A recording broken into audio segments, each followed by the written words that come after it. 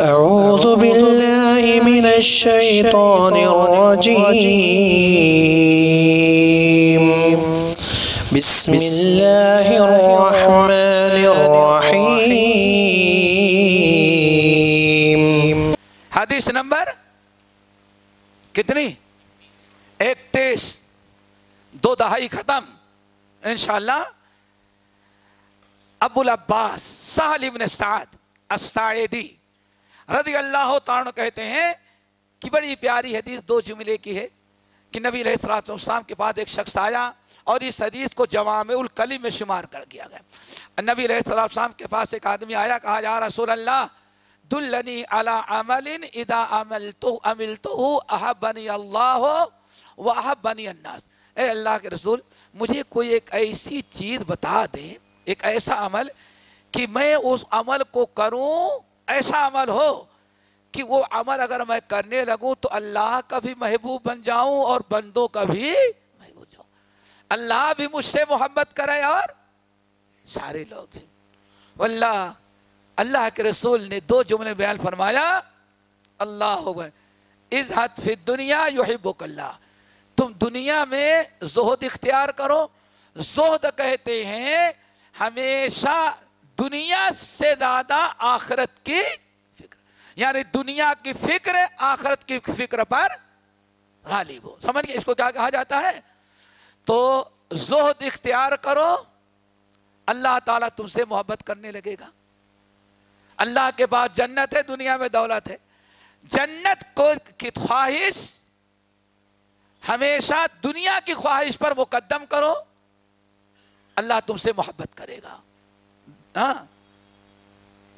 آگے۔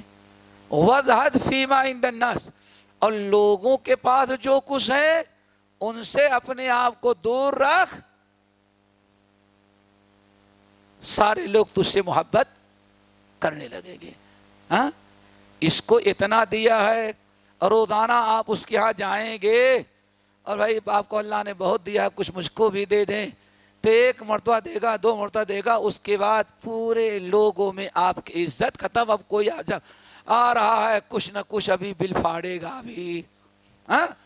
آ رہا ہے، اس کی عادت ہے، آ رہا ہے، تو کچھ نہ کچھ مصیبت لے کے آتا انسان ذلیل ہو جاتا ہے جب لوگوں کی دولت پر نگاہ رکھیں اس لیے اللہ نے اپنے نبی کو کیا حکم دیا؟